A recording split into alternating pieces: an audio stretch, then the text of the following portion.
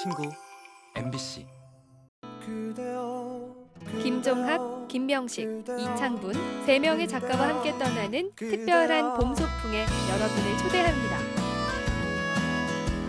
코로나 때문에 사실 2년 동안 너무 지쳤잖아요. 그래서 뭐 봄소풍 나온 기분으로 어, 봄 소풍을 기억하면서 이 전시를 기억했거든요.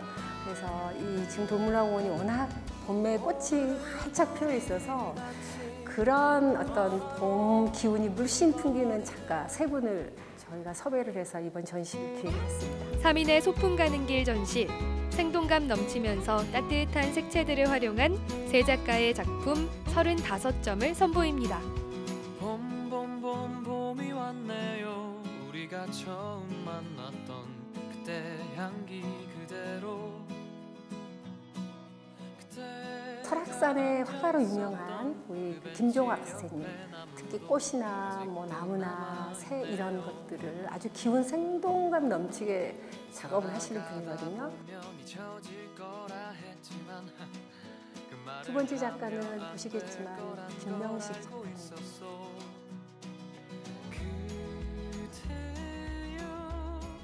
집과 인간을 두 개의 모습을 중첩시켜서 아주 따뜻하고 서정적인 작업을 하는 작가님. 그다음에 세 번째는 이창분 작가님은 이 꽃과 꽃잎들을 아주 정제하고 단순하게 표현하는 분들이에요. 그래서 세 분들의 작품이 모두 화사한 봄 기운이 가득해서 오시면 정말 봄 소풍 나온 듯한 느낌을 주고 싶어서 이번 전시를 기획하게 됐습니다. 바람결 따라 논일 듯 숲과 그림을 즐기는 소풍길을 즐겨보시기 바랍니다. 이번 전시는 6월 26일까지 진행됩니다.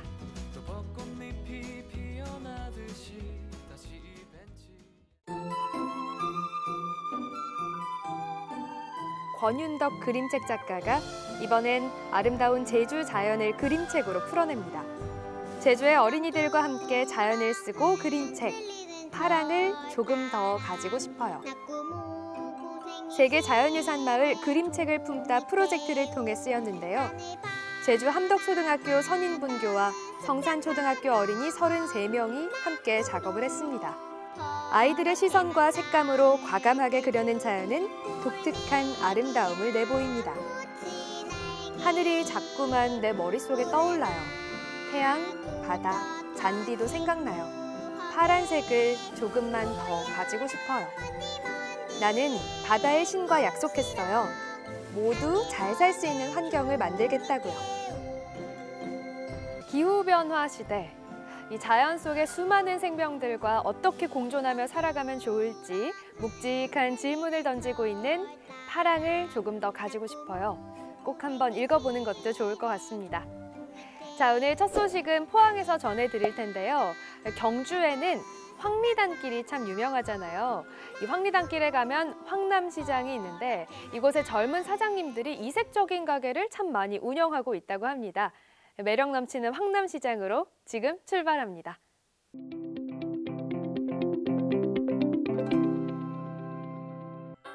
경주의 여행 명소 황리단길. 골목 안 오래된 시장의 풍경도 조금씩 바뀌고 있는데요. 청년 창업가들과 함께 감각적인 공간으로 재탄생한 황남시장으로 가볼까요? 책과 와인이 있는 여행자 쉼터부터 경주의 색과 향을 더해 재해석한 이색 메뉴들을 맛볼 수 있는 칵테일바까지 매력 넘치고 개성 가득한 황남시장 이색 가게 탐방을 시작합니다.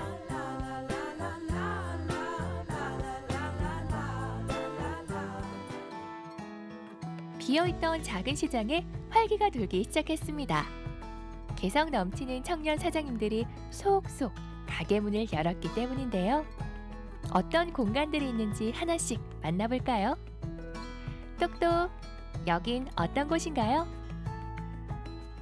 여기는 우선 독립서점이고요. 저희는 여행자분들이나 손님들이 편하게 오셔서 와인 한 잔 하시면서 이제 책을 열람하시고 이렇게 즐기실 수 있는 그런 공간으로 봐주시면 되겠습니다. 보통 이제 북카페를 많이 연상하시는데요. 북카페는 커피 종류를 음료로 많이 판매를 하잖아요. 근데 저희는 커피 대신에 와인 종류를 많이 이제 배치를 해서 어, 주문하시고 드실 수 있도록 그렇게 제공하고 있습니다. 책과 커피를 즐길 수 있는 북카페는 많이 봤어도 책과 와인을 즐길 수 있는 공간은 색다른데요. 와인을 마시며 읽는 책이라 어쩐지 책 속으로 더 푹 빠져들 것 같기도 합니다. 알코올을 즐기지 않는 분들도 걱정 마세요. 무알코올 샹그리아도 준비되어 있으니까요. 치맥 대신 책 와인으로 감성을 충전할 수 있는 곳. 그런데 진짜 책만 오래오래 보다가도 괜찮은 건가요? 서점이나 뭐 카페도 많지만 아무래도 어, 오래 이렇게 작업을 하거나 그냥 책을 보면서 오랫동안 머물 수 있는 공간은 또 의외로 많지 않다고 생각이 들거든요. 그래서 그렇게 눈치 안 보시면서 편하게 즐기실 수 있는 공간이었으면 좋겠다라고 생각합니다. 음, 그렇다면 이곳에선 어떤 종류의 책들을 만나볼 수 있을까요? 독립서적을 우선적으로 생각하고 있고요. 아무래도 어, 요즘 서적은 온라인으로도 많이 구매하니까 독립 서적을 오프라인에 저희가 제공했을 때 좀 더 손님들이 많이 좋아해 주시지 않을까 이렇게 생각하고 있습니다. 여행 서적을 많이 어, 판매를 하려고 발주를 받고요. 여행 서적이랑 예술 문화 쪽 그리고 이제 앞으로는 어, 소설류도 좀 많이 들여올 생각입니다. 책 한 권, 와인 한 잔으로 혼자만의 특별한 시간을 즐길 수 있는 곳. 사람 많은 번화가를 걷다가 조용히 쉬어갈 수 있는 곳. 황리단길 여행자 쉼터로 손색이 없죠? 황남시장 안 두 번째 매력 공간의 문을 열어볼까요? 진열장을 가득 채운 수많은 종류의 술 뿐만 아니라 한약재들까지 빼곡하게 놓여 있는데요. 이곳은 대체 어떤 공간인가요? 이곳은 황남시장 안에 위치한 조그마한 바인데요. 서양에서 제가 배워온 칵테일 문화를 한국 더 나아가 경주스럽게 예, 만든 공간입니다. 이곳의 특징은 200년 된 고택, 경주에 있는 고택에 많은 것들을 가져와서 이곳을 인테리어를 했고요. 그래서 이곳의 바탑 같은 경우는 오래된 150년 된 대문을 들고 와서 바탑으로 이용했고 많은 재료를 한국적인 요소들을 많이 넣어서 만든 한국적인 칵테일 바입니다. 칵테일 바에 한국적인 분위기와 경주의 색을 담아내려는 시도가 색다른데요. 작은 바 구석구석에 전통적인 소품들이 가득하고요. 칵테일 재료에도 한약재와 수제, 과일정 등 한국적인 요소가 가득합니다. 이것들도 진짜 칵테일에 사용하는 재료가 맞는 거죠? 한국스럽게 한국적인 내용들을 칵테일에 담고자 이런 것들을 사용하게 됐습니다. 많은 서양의 칵테일 문화도 사실은 어, 깊이가 있는 것들이 기본이 되는데요. 서양에서 제가 배워온 문화들을 이제 한국스럽게 풀이할 때 한국의 약재들, 한국의 청 그런 한국적인 문화들을 이용해서 칵테일을 만들기 위해서 만들, 사용하는 것들입니다. 시장 안에 생긴 칵테일 바. 그것도 경주의 멋과 맛이 담긴 칵테일이라니. 이 개성 넘치는 컨셉에 주목할 만한데요. 조금은 낯설고 어렵게 느껴지기도 하는 칵테일. 어떤 분들이 많이 찾아오실까요? 우선은 뭐 시장 안에 위치해 있다 보니까 손님들이 대부분 어, 검색을 통해서 찾아오시는 경우가 많고요. 그런데 이런 또 문화를 좋아하시는 분들이나 또 한국 특히 경주에 오셔서 이런 경주적인 요소들을 찾는 분들이 많이 좀 찾아주시는 것 같아요. 이 골목 안이 아직은 조용한 동네지만 어, 경주에 없는 건강한 밤 문화를 이 골목에서 저희가 좀 형성해 나가려고 노력하고 있는 중입니다. 경주의 맛과 멋이 가득 담긴 이색 칵테일부터 나만을 위한 맞춤형 칵테일까지 맛볼 수 있다는데요. 보기만 해도 경주의 매력에 흠뻑 취할 수 있을 것 같죠? 요즘 유행하는 뉴트로처럼 어, 옛 것과 요즘 것을 또 한국적인 것과 서양적인 것을 두 개를 융합해서 좀 이렇게 즐거운 색다른 공간이 됐으면 하는 바람이 있습니다. 청년 사장님들의 감각이 더해져 매력 넘치는 공간으로 바뀌고 있는 황남시장. 색다른 컨셉을 가진 따끈따끈한 신상 핫플레이스. 놓치지 말고 꼭 즐겨보세요.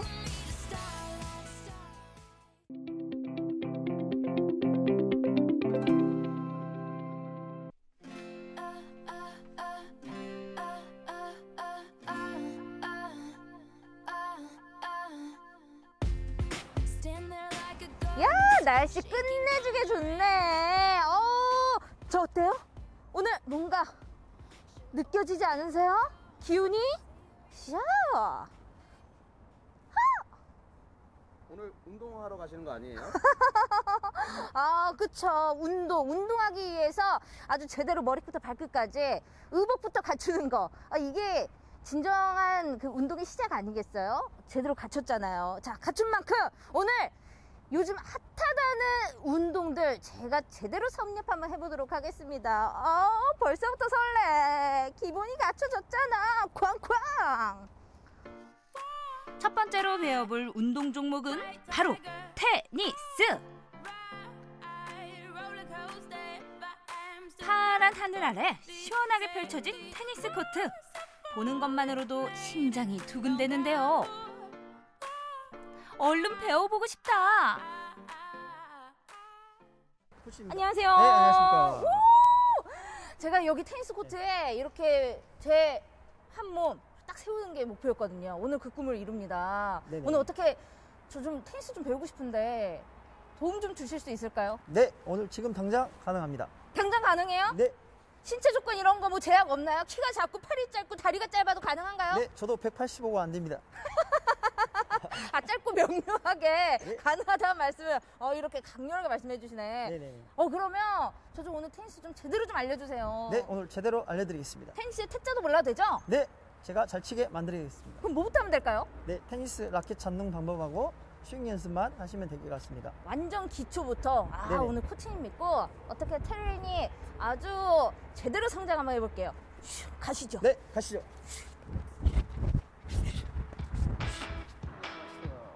거리두기를 지킬 수 있으면서도?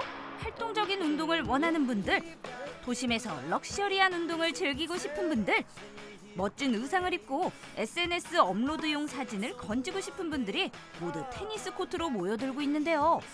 덕분에 테니스 레슨 문의도 빗발치고 있다고 합니다.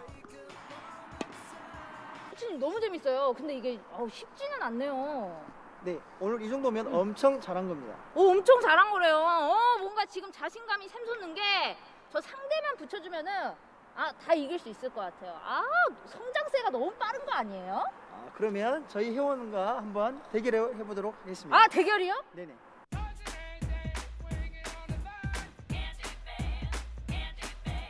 아 오늘 저 세린이 박지성과 대결하실 분 계신가요? 저요.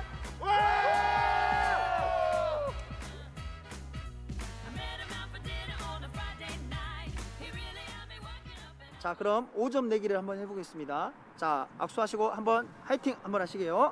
악수하시고 라켓으로. 자, 화이팅! 화이팅! 우! 자존심을 건 대결. 하루 강아지가 범을 물 수도 있는 거잖아요. 어? 분명히 친 거예요. 마음처럼 되지 않습니다.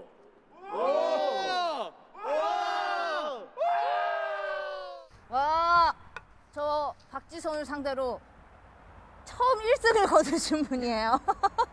와, 잘하시네요. 아니요, 많이 부족합니다. 아니, 배운 지 얼마나 되신 거예요? 저 4월달 8개월 차 됐어요. 8개월? 8개월 꾸준하게 테니스를 하시는 이유. 너무 재밌어요. 일단 좋은 사람들도 많이 만나고, 음. 그래도 주 4회 레슨 받으면서 어, 많은 경험도 하고요. 꾸준히 할 수 있는 운동 같아서 누구나 쉽게 도전할 수 있는 것 같아요. 테니스에 이어 두 번째로 배워볼 운동 종목은 시작한 분들 많으시죠? 탁구. 남녀노소 누구나 함께 즐길 수 있고 날씨 계절에 구애받지 않는 데다 순발력과 지구력을 동시에 기를 수 있는 운동.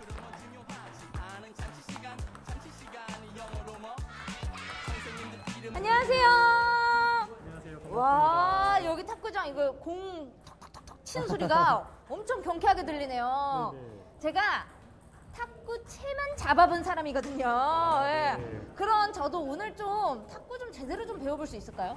아, 네, 오늘 처음 하시면은 그래도 간단한 뭐 기본기라든가 이렇게 탁구가 어떤 것인지 느낄 수 있게 한번 그렇게 자연스럽게 접해볼 수 있게 도와드릴게요. 광주의 현정아, 광주의 신유빈. 초보는 탁구 테이블 앞에도 설 수 없더라고요. 커다란 전신 거울 앞에서 자세를 먼저 익힌 다음 코치님과 1대1 레슨에 들어갔는데요. 제법이죠? 해주시고요. 그래서 또다시 시작된 대결. 아하, 좀처럼 마음대로 되지 않더라고요. 제 실력에 당황했는지 민찬공까지 삐끗. 이 경기 이대로 괜찮을까요? 아, 저는 아예 상대가 되지 않습니다. 아, 친구가 심심할 정도로 어, 상대가 되지 않기 때문에 저는 제 개인 훈련을 더 열심히 하는 걸로 하도록 하겠습니다. 결국 다시 코치님의 품으로. 코치님이랑 칠 때는 잘 되는데 말이에요.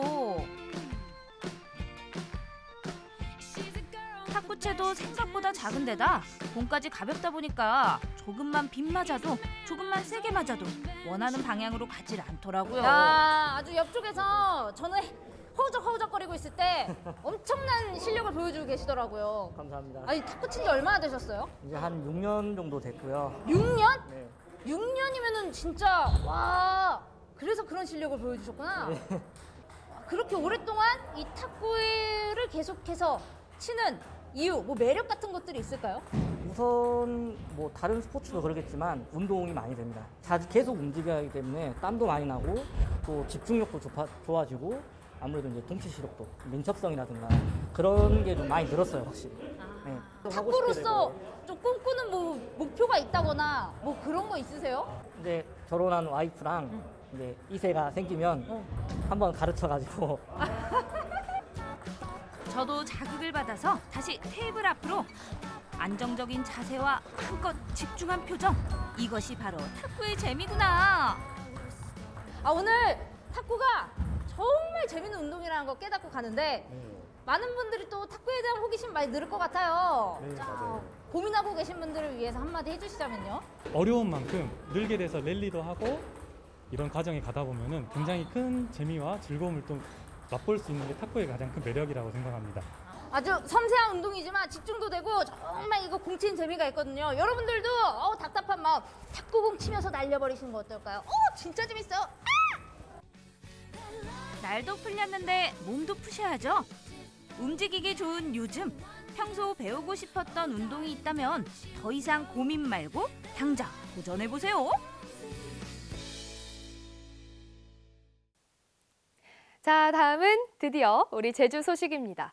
요즘 제주 많고 끼 많은 어린 친구들 정말 많잖아요. 지금 만나볼 이 아이는요, 상상력 부자라고 합니다. 버려지고 쓸모없는 물건들도 이 친구의 손만 닿으면 멋진 작품으로 탄생한다고 하는데요. 어린이 업사이클링 작가 김다나 친구. 지금 만나볼게요.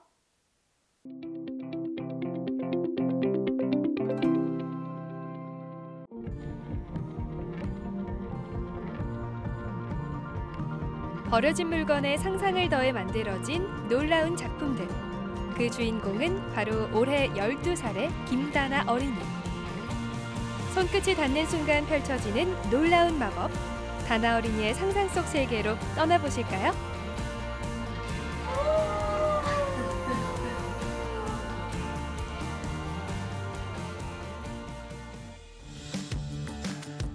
더워지는 날씨에 보기만 해도 기분 좋아지는 바다.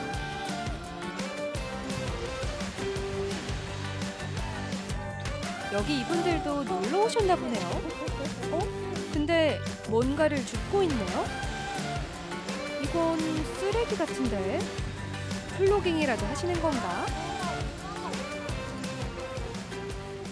다나 그 바다 쓰레기로 만드는 작품 재료 찾으러 왔어요. 여기는 저의 딸 김다나 그 바다 쓰레기로 미니어처 만드는 친구고요. 어, 이웃 동생인데 어, 잘 마- 성격들이 잘 맞아서 집에 자주 놀러 와서 같이 만들기도 하고 그러는 바다에 친구예요. 버려지는 쓰레기들을 가지고 작품을 만드는 거군요. 정크 아트나 업사이클링이라고 하죠. 병뚜껑이나 깨진 유리 조각 이런 것들이 작품이 된다니 기대가 되네요. 다나는 오래전부터 엄마와 함께 이렇게 산책하며 작품 재료를 찾았다고 해요. 그 크기며 질감이며 만져보고 정성스레 고르는 모습이 보물이라도 찾는 것 같습니다. 쓸모없어 보이는 것도 다나에겐 귀한 작품의 재료인 것 같죠? 거는 주로 얼굴 같은 데 절었어요. 어, 얼굴형이 되게 이게 납작해가지고 얼굴처럼 잘 나와요. 이런 이거 봐봐. 어, 어, 낚시 낚시 도구들도 꽤 많고 이런 뭐 밧줄 끈에서부터 이런 소주 병뚜껑들, 라이터 뭐 정말 생각지 않은 것들이 많이 있어요.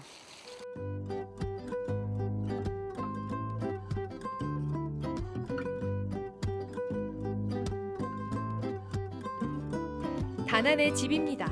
입구부터 뭔가 달라도 다르죠. 다난에는 가져온 쓰레기를 열심히 닦고 있는데요. 그 사이 집 구경 좀 할까요? 벽이며 집 전체가 다나 작품으로 가득합니다. 그림과 만들기, 미니어처까지 종류도 다양한데요.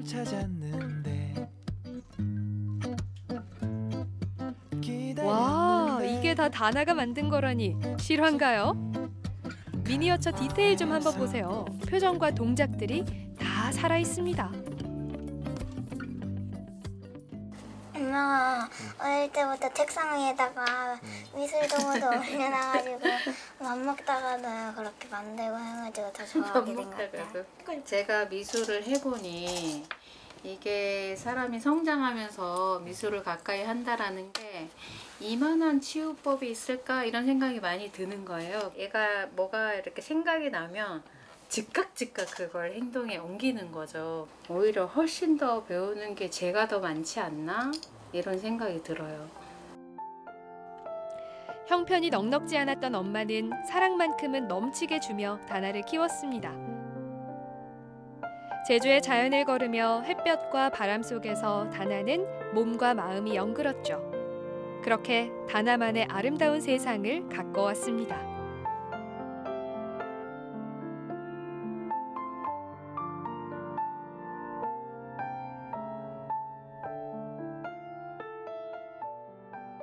다섯 살 요, 요맘때 그린 것들인데 제가 이제 일 갔다 오면 이제 아 그림이 너무 예뻐서 이걸 꼭 장난감으로 만들어주고 싶은 거예요. 그래서 이제 딱히 방법이 없나 보다가 뭔가 이제 아기가 안전하게 갖고 놀 수 있어야 되잖아요. 그래서 뭔가 보드랍게 만들어줄 수 없을까 궁리를 해보니 비싼 도구는 뭐 엄두도 안 났었고 그냥 주변에 흔히 가져다 쓸 수 있는 것들 작품도 그렇고 그림도 그렇고 이제 이게 좀 학년이 지나갈수록 전에 보지 않던 그런 세밀한 부분들을 관찰을 하더라고요. 오늘 가져온 이 잡다한 쓰레기들을 가지고 다나는 무얼 만들까요? 매직 뚜껑 아니야? 응. 왜 그런 보드마카 같은 거 있잖아. 어, 너무 음료수잔 같아. 맥주잔 같은데. 어 이거 이거 이거 중국 강시 모자. 아. 어, 싱- 이거 띠용띠용띠용 가는 거 있잖아. 싫어. 요걸 가지고 이- 이게 냄비가 될 건데 나 나머지 캐릭터는 다른 재료에서 또 찾아봐야 될 것 같고 여기 여기다가 이제 냄비랑 그 재료를 넣어가지고 한번 만들어 볼 계획이에요. 아, 뭔가 공구들이 나오는데 전문가 포스가 확 나는데요. 색색이 온갖 자잘한 재료들, 이것들로 도무지 어떤 작품이 나올지 상상이 안 되는데요. 다나의 머릿속엔 다 들어있겠죠?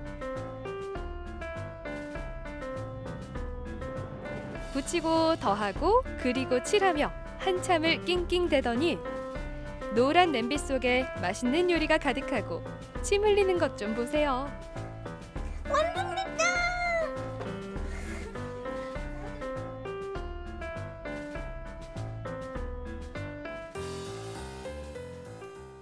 마음에 엄마가 음, 너무 늦은 시간에 군것질 하지 말라고 해서 밥을 못 먹은 아이인데 지 야식으로 야, 라면을 먹었는데 라면에 너무 맛있는 비주얼이 나와가지고 지금 너무 기뻐하는 이에요.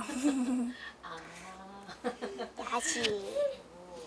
제가 만들었지만 너무 잘 만드는 것 같고 뿌듯해요. 움직임이 살아있고 아기자기한 이야기가 느껴지는 다나의 작품들. 이 모든 게 버려진 것들로 만들어졌다는 게 정말 놀랍죠? 금방이라도 살아 움직일 것처럼 섬세합니다. 모든 캐릭터들이 저마다의 개성과 이야기를 갖고 있는 듯합니다.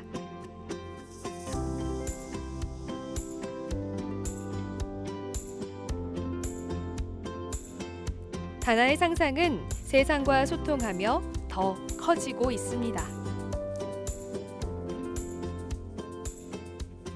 엄마 나 이걸로 그림 그려보면 안 돼요? 어, 그림도 되지 뭐 안 되는 게 어딨어 오늘은 그냥 만들기 말고 그림으로 할래요 해서 이제 이거를 저렇게 뭐 캔버스 작업에 그려보기도 하고 이렇게 A4 용지에 또 얘네들을 뭐 스토리 삼아서 음, 이렇게 그려보기도 하고 그림과 만들기를 넘나드는 다나의 상상력은 얼마 전 그림전에서 그 실력을 인정받기도 했습니다. 멸종위기 생물들이 살아갈 숲을 그린 다나의 그림.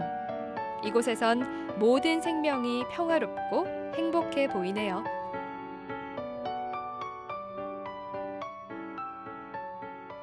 그거에 이어서 멸종위기 정도 또 관련이 있잖아요. 이렇게 관련 있는 분야에서 대상을 받으니까 되게 기분이 뿌듯뿌듯. 제주 자연을 탐구하고 상상 속 이야기를 만들며 걸어온 12살 다나의 아트 스토리. 다나는 지금 어떤 꿈을 꾸고 있을까요? 다나가 어릴 때부터 꿈이 뭐냐 이렇게 물으면 선생님이라고 해요. 만들기 같은 게 너무 좋고 그런 걸 가르칠 수 있는 선생님이면 너무 좋겠다 하는 거예요. 그래서 이걸로 가지고 이제 뭐 선생님이 뭐 꿈인 아이로 이렇게 성장해도 좋을 것 같아요. 미술 선생님 되어가지고 학생들 이렇게 이런 쓰레기로 만드는 거 가르쳐 보고 싶어요. 화이팅!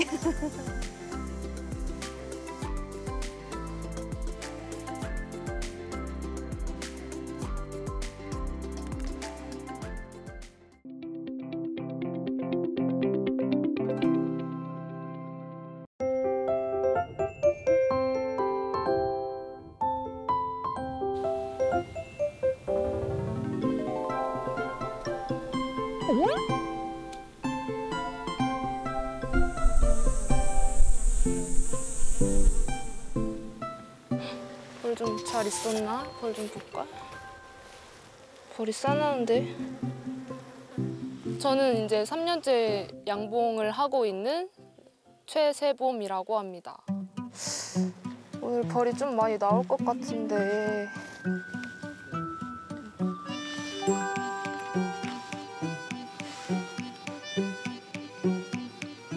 아침에 일어나서 한, 봉- 봉장 한 바퀴 돌면서 이제 어떤 일이 있었나 또 별일은 없나 네, 둘러봅니다.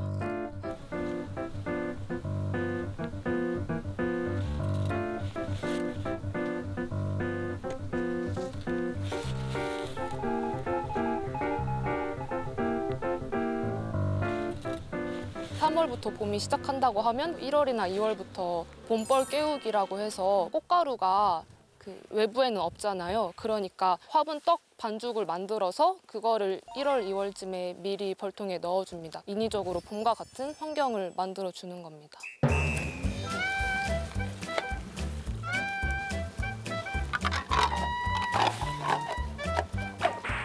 겨울을 나고 봄이 되고 여왕벌이 이제 알을 낳고 육아를 하는데 물이 많이 필요로 해요. 근데 길러오는 자- 그 과정 중에서도 에너지가 많이 소요되고 하다 보니까 이제 벌통 앞에 급수기를 설치해 줘서 그런 에너지도 조금 그 덜 쓰게 하고 그리고 깨끗한 물을 어, 주는 목적으로 급수기를 설치해 주고 있습니다.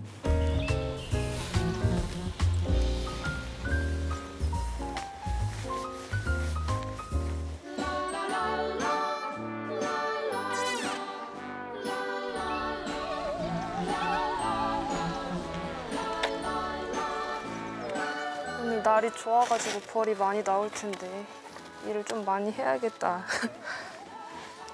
아니 벌써 꽃, 꽃가루 물고 오는가 보네. 어디 꽃가루 오리목나무라도 폈나 보다. 처음에는 제가 막연하게 농업을 하고 싶다는 생각만 있었는데 그래서 대학교도 농업 관련한 대학교로 진학을 했고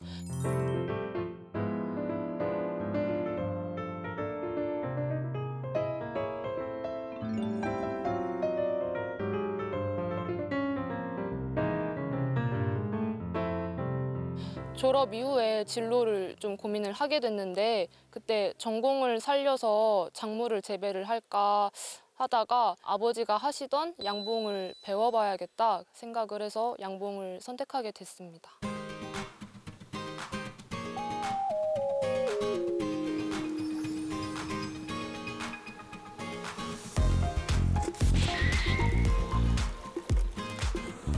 어, 다 기, 기, 강하게. 어, 됐어. 어, 됐다, 됐다. 나에게 아버지는 멘토다. 농업에 대한 거의 전반적인 부분은 아버지가 멘토로 계셔서 제가 다 그 여쭙고 하는 편이고요. 꼭 일하는 게 아니더라도 삶에 있어서도 그렇고 농업에 필요한 부분은 다 좀 아버지께 한번 요청을 드리는 편입니다.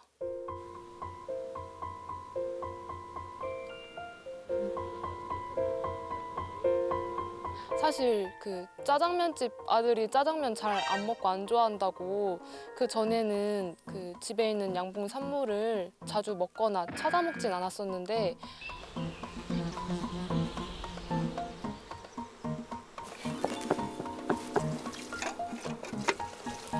오랜만에 날씨가 좋으니까 벌도 또 활발하고 화분도 많이 들어온다, 이제.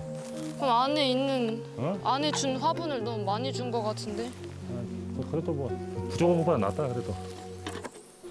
잘 없는가 본데요? 어, 이거 버렸잖아. 양봉을 한 지는 한 40년 정도 됐고, 다른 일을 잠깐 예도를 하면서도 양봉은 놓지 않고 부업이나 개발 형태로 지금까지 해왔습니다.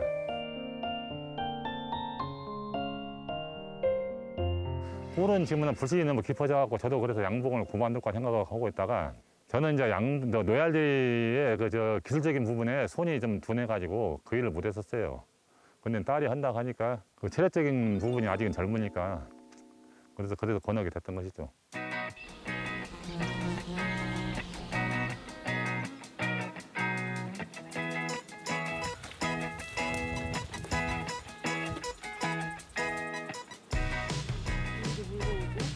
제가 사실 벌독 알러지가 심하게 있었었는데요. 어, 시- 심한 경우에는 이제 죽은 벌에 쏘이고도 응급실에 가거나 그 호흡곤란, 뭐 두드러기, 오한, 구토 이런 그 벌을 쏘였을 때 겪을 수 있는 알러지 반응은 거의 많이 겪었던 것 같아요.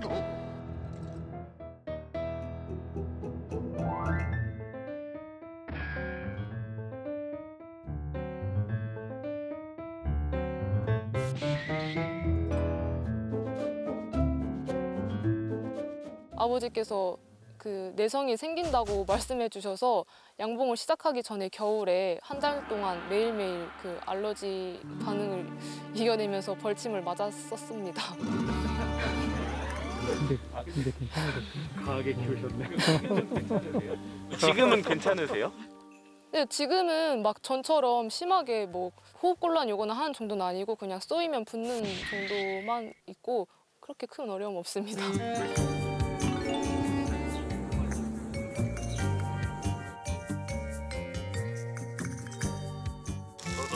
더, 더 열어요? 화분도 많이 들어온다, 진짜. 네.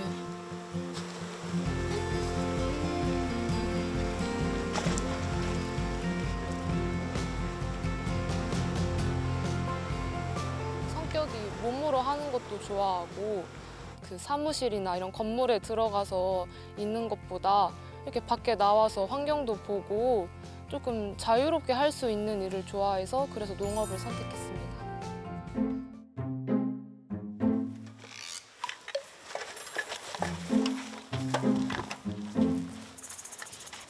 벌안 쏘이려면 이거 피워야 되니까.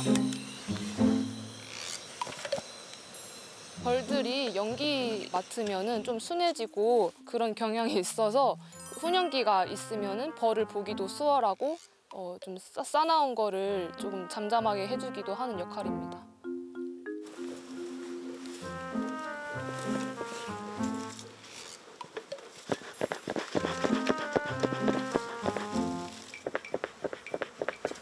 다 했다.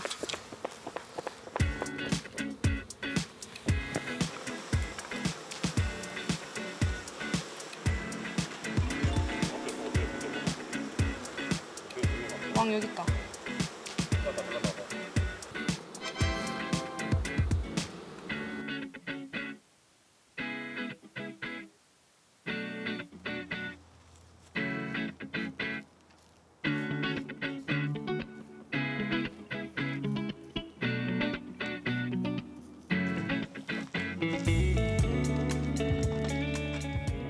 벌통이 나무로 되어 있잖아요.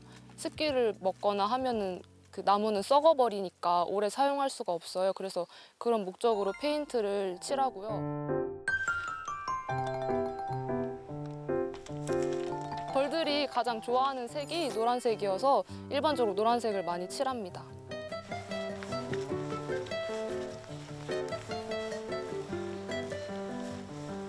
꿀벌 멸종에 대한 그 이슈가 되게 심각하잖아요. 꿀벌을 기르는 사람으로 그 환경, 그 미래에 대해서 또 일조를 한다고 생각을 해서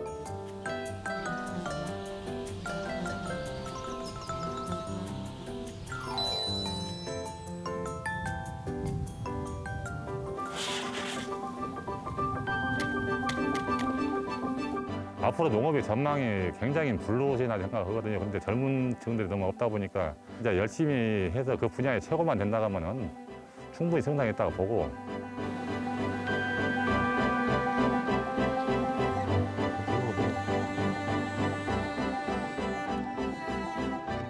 일만 하는 양봉인이 아니라 이 양봉 산업의 전반적인 부분에 대해서 고민도 해보고 앞으로 방향에 발전해 갈 수 있는 방향에 대해서도 고민해보고 또 목소리를 낼 수 있는 그런 양봉인이 되길 바랍니다.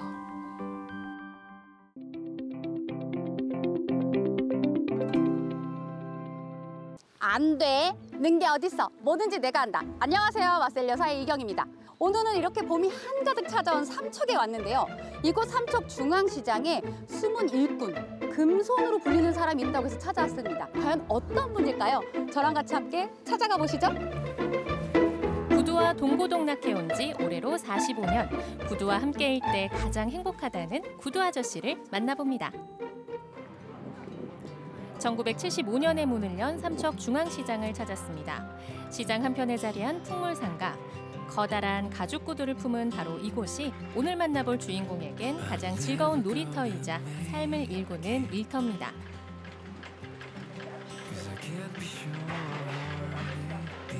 안녕하세요. 예, 오랜만에요. 네. 제가 소문에 듣자 하니 이 구두를 정말 수선을 잘하신다고 음. 들었어요. 근데 보니까 구두 수선만 하시는 게 아니라 만들기도 하시나 봐요. 그렇죠. 구두는 언제부터 만들기 시작하셨어요? 어, 열한 여섯 정도에서 시작을 해서 지금까지 지금 했으니까 굉장히 오래됐어요. 그러니까 처음에 구두 시작하셨을 때랑 지금이랑은 좀 많이 다를 것 같아요. 그럼요. 뭐랄까 구두는 이게 처음서부터 뭐 구두를 탁 만드는 게 아니고 맨 밑에 시다 일서부터 시작을 한 거지. 그래야 견습생 해가지고 상견습, 중견습, 상견습 이렇게 해가지고 이제 기술자가 되는 거예요. 처음에 많이 혼나셨겠어요. 그쵸? 아이 그럼요. 일을 조금 잘못하면은 이 가죽의 이렇게 이렇게 세피라고 있어요. 그걸로 막 때리기도 했어요. 실질적으로 그렇게 이 엄하게 구두를 배웠어요. 구두를 만들면서 얻는 보람 덕에 힘든 시절의 숱한 어려움도 잊을 수 있었는데요. 어, 신발을 어, 만들어서 그분이 발이 편하고 딱 갈치기 신고 기분이 좋게 해서 딱 가고 고맙습니다. 참 잘 맞습니다. 편합니다. 이러면은 우리들은 그것이 굉장한 보람이에요. 어, 그 일에 대한 보람 이런 것들이 있는 거죠. 어려서부터 손재주가 좋았던 그는 구두를 만들고 남은 자투리 밑창을 이용해 다양한 공예품을 만들고 있는데요. 이런 이렇게 구두 들어가는 재료가 아. 자꾸 많이 남잖아요. 이 쪽이 쪽이. 그래서 그걸 가지고 뭘 만들까 생각하다가 저걸 이제 이렇게 만들기 시작을 했어요. 맨 처음에는 취미 생활로 했는데 이제 자꾸 파라고 하는 사람이 있어요. 저런 한옥 같은 걸 좋아하시는 분들이 꽤 많더라고요. 그래서 한 15만 원, 20만 원 정도 주고 이제 하나씩 파는 거예요. 그러면 팔면 사모님한테 말씀하세요. 아니 아니요. 그럼 살짝 이렇게 어, 챙겨 놓으셨다가 그럼요. 보통 어디다 쓰세요? 음, 아니 그거는 저런 건 내 기술 만들어서 그건 내 재주니까. 아, 사모님한테 어. 선물도 사주시고 아이 그럴 수 그럴 수 맛있는 있는 것도 거죠. 예. 사주시고. 근데 분명히 방송 보실 거잖아요. 아, 예. 아니 이제, 괜찮아요. 예. 공예품들 가지고 전시를 하신다거나 이런 계획 있으세요? 이제 전시회도 한번 해볼까 이런 생각도 했어요. 우리 삼척의 대표적인 노화집이라든가 이런 것들도 만들고 이렇게 해서 해놓으면 좋 낫지 않을까 이런 생각도 참 많이 했어요. 근데 아버님 꿈은 현실로 이루어진다고 하는데 음. 계속 쭉 열심히 많이 만드시면 또 언젠가는 제가 또 그 전시회를 보러 갈 일이 생길 것 같은데요. 아, 그래요. 아이 그러면 고맙죠. 이제 거리에서 어떤 신발을 보든 그 신발 주인의 평소 습관이 보일 정도입니다. 참또 그런 거리가 똑같이 않잖아요. 신발을 빨리 딸구는 사람이 있어요. 무지하게. 그런 거 하면은 어떤 사람은 100에 한 명 정도는 신발이 일자로 그대로 딱 달린 사람. 한 명 정도. 모든 신발은 다 안쪽으로 이렇게 기울게 만들어 놨어요. 이렇게 보면은 다 안쪽으로 기울게. 이제 요런 거 같은 뒷굽은 다 바깥쪽으로 따라요. 이렇게. 누구나 다 그럴 거예요, 아마. 그리고 오다리들은 안으로 따라요. 오다리만큼은. 일자는 똑바로 그는 사람들. 응. 그건 진짜 코피하지. 그러니까 100명에 한 명 정도 있을 거예요. 딱 빳빳하게 걷는 분들은 보면 매력이 있잖아요. 이렇게 생기도 있고, 이렇게 꼭 염두에 두셔야 돼. 알겠습니다. 제가 꼭 이렇게 닳더라고요. 구두와 함께 걸어온 반평생. 다른 건 몰라도 누구보다 성실하게 살아왔다 자부하는 그인데요. 전직이라 생각하는 이 일을 언제까지 하실 생각이세요? 글쎄요, 뭐, 뭐랄까. 우리 친구들은 지금 공직자 있는 사람들이고 모두 다, 다 퇴직을 해서 다 놀고 이래요. 놀고 이래서 내인데 이렇게 놀러도 오고 이러는데 그런 거 대놓으면은 나는 그래도 기술이니까 이게 뭐 돈을 많이 벌든 안 벌든 간에 내가 할 수 있는 일거리가 있고 어? 즐겁고 내가 좋아하는 일이니까 그러니까 내가 힘 닿는 데까지는 내가 한 그런 생각을 가지고 있어요. 글쎄 소원이란 것은 없어요. 나는 지금에서의 굉장히 만족하고 살아요. 돈이 많은 것도 싫어요. 돈도 그냥 조금 적당하게 있고 그냥 이렇게 그냥 편안하게 사는 게 최고 좋아요. 돈이 많은 게 좋겠어요? 아프, 안 아픈 게 좋겠어요? 안 아픈 게 더 좋아요. 어? 우리 지금 나이 정도면은 친구들이 지금 다 이렇게 막 하나씩 죽어요. 죽는데 보면은 돈이 없어서 죽는 게 아니에요. 하루를 살아도 그냥 편하게 살다 죽는 게 그게 최고예요. 그 저기 아 지금까지도 건강하게 잘 지냈지만은 어? 어, 앞으로도 잘 건강하게 즐겁게 생활하고 같이 이렇게 즐겁게 이렇게 살았으면 좋겠어. 아버님 하나 빠뜨리셨잖아요. 뭐? 아 빨리요, 아, 여보 이거. 아 이- 이때 아니 난, 못 나는. 그런 말은 못해요. 그냥 고맙소 한번 네, 고맙소. 고맙소. 어 여보. 그래도 하셨어. 누구든 내 발에 꼭 맞는 신발은 오래오래 곁에 두고 싶은 법이죠. 앞으로도 건강한 발걸음들이 이곳에서 시작되고 또 오랫동안 머무르면 좋겠습니다. 와 정말 구두와 반평생을 살아오셨네요. 구두 옆에서 살아온 인생이 뭉클하게 느껴지는데요. 어, 저의 인생의 첫 구두는 어떤 모습이었는지 잠시 떠올려 보기도 했습니다. 우리의 건강을 지켜주는 구두 기술자로 오래오래 행복하시기를 응원하겠습니다. 오늘 저희가 준비한 소식은 여기까지고요. 저는 끝으로 한 주간의 문화 소식 전해드리면서 여기서 인사드리겠습니다.